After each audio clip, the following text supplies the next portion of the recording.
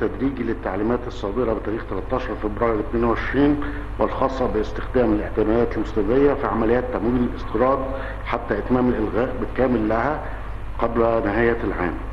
حيث تم رفع مبلغ الشحنات السابق من تطبيق تعليمات البنك المركزي باستخدام الاعتمادات المستندية ليصبح 500 ألف دولار بدلا من 5000 دولار.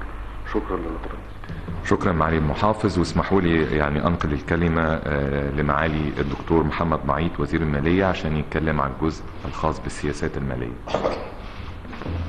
شكرا جزيلا دولة الرئيس ويعني في إطار الاتفاق مع صندوق النقد الدولي واللي هو بيتضمن تمويل في حدود 9 مليار دولار 3 مليار دولار من الصندوق ومليار دولار من صندوق ال- الاستدامة آه، والمرونة و5 مليار دولار من الشركاء الدوليين.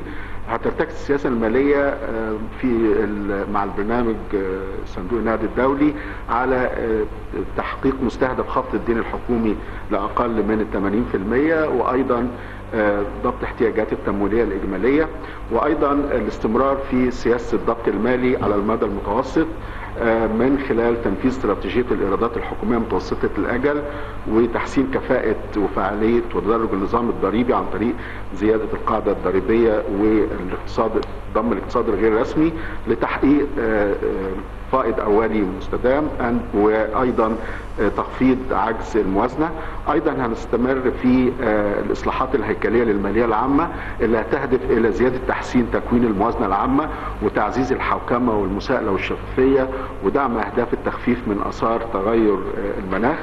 أيضا هنستمر في تعزيز الحماية الاجتماعية من خلال تبني حزم متعددة من إجراءات الحماية الاجتماعية والتي أيضا يمكن خلال الفترة اللي فاتت الحكومة أعلنت على عدد منها في شهر إبريل وفي شهر سبتمبر ومؤخرا امبارح. وامبارح. وبالأمس مؤخرا. وده اللي هو في إطار السياسات المالية للبرنامج مع صندوق النقد. شكرا جزيلا. شكرا معالي الوزير وانقل الكلمة لمعالي وزيرة التخطيط والتنمية الاقتصادية لتتكلم على الجزء الخاص بالإصلاحات الهيكلية. شكرا دولة الرئيس طبعا البرنامج الخاص بصندوق النقد الدولي بيدعم جهود الدولة المصرية في خطة الإصلاحات الهيكلية اللي أطلقتها الحكومة من أجل الاستفادة من إمكانيات مصر ومقوماتها العديدة عشان نقدر إن إحنا نبقى بنحقق آه، نمو مستدام ونعزز تنافسية وقدرة الاقتصاد المصري. برنامج بيشكل زي ما حضراتكم عارفين بشكل أساسي على زيادة الجزء المكون الإنتاجي وزيادة قدرة الاقتصاد المصري على التصدير بالإضافة إلى إفساح المجال آه، للقطاع الخاص آه، ليقوم بدوره الأساسي في دفع عجلة التنمية وتوفير مزيد من فرص العمل اللائقة وده كان أيضا أحد التوصيات الرئيسية اللي آه، كانت في النقاش كان هدف المؤتمر الاقتصادي وكانت أيضا مخرجات آه، المؤتمر الاقتصادي. آه، يعني مما لا شك فيه طبعا أن هناك جزء خاص أيضا بالإصلاحات المؤسسية لتعزيز الشفافية. كل الإصلاحات دي هدفها أنها تدعم قدرة الاقتصاد المصري وأن إحنا نبقى يعني نوسع القدرة ونصلح كل الاختلالات الهيكلية اللي الاقتصاد المصري كان بيعاني منها على مدار سنوات طويلة. شكرا.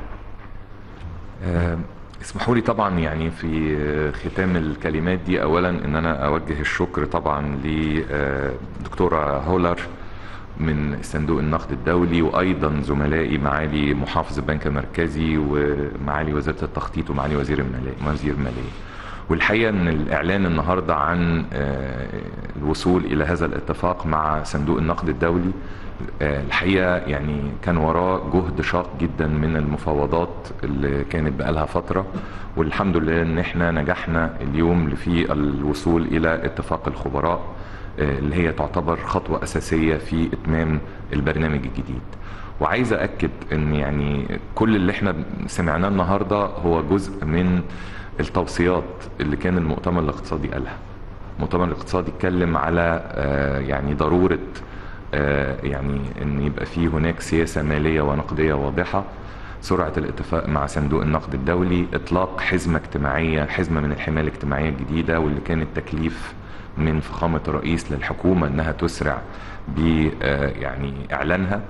فالحقيقة النهارده إحنا الحمد لله بنتحرك نحو آه، يعني آه، الوصول إلى هدفنا إن ال- الاقتصاد المصري في ظل الأزمة العالمية الغير مسبوقة واللي العالم كله ما شافهاش مرة أخرى وبأكد على هذا الموضوع إن الاقتصاد المصري يبقى بيحقق حالة استقرار ويبقى قادر على الصمود في خلال الفترة القادمة إن شاء الله.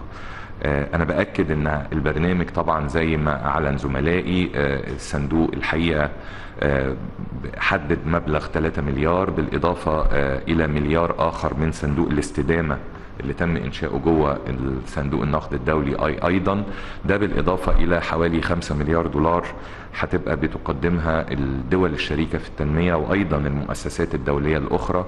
يعني بنتكلم في حدود التسعة مليار دولار هتبقى عشان تساعد الدولة المصرية في خلال الفترة القادمة بإذن الله. أنا بشكر حضراتكم جميعا وشكرا وإن شاء الله آه، كل الخير بإذن الله. شكرا.